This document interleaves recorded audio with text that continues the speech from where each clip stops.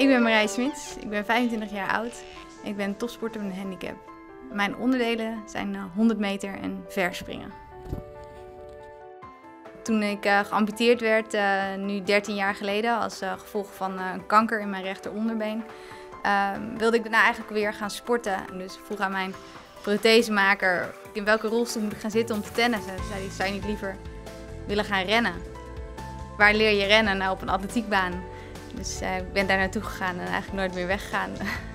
Het gevoel van dat je weer harder kan, dat je dingen kan die je eerst niet kon, dat was al wel heel snel verslavend. Van sporten word je gewoon blij.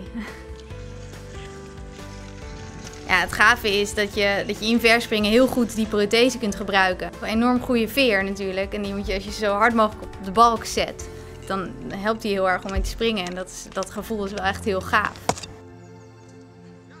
Sowieso dat je fysiek sterker wordt helpt. Uh, daardoor kon ik langer lopen, langer staan, uh, met vriendinnetjes de stad in. Dat heeft sport heeft me allemaal enorm bij geholpen. En daarnaast is het natuurlijk ook heel anders om te vertellen: Hoi, ik ben Marije en ik heb een been eraf en ik doe aan topsport.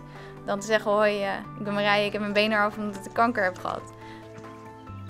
Die aanloop je kennen als je broekzak. Als je thuis voelt in een aanloop, dan heb je ook veel meer zekerheid over je sprong.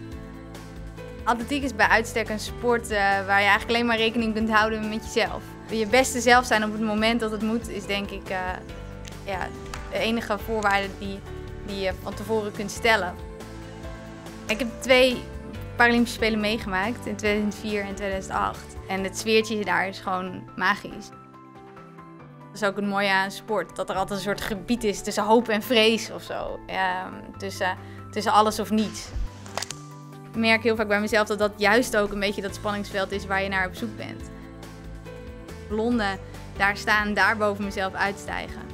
Ik denk dat dat mijn ultieme doel is. Als ik goed presteer, dan kunnen er hele mooie dingen gebeuren.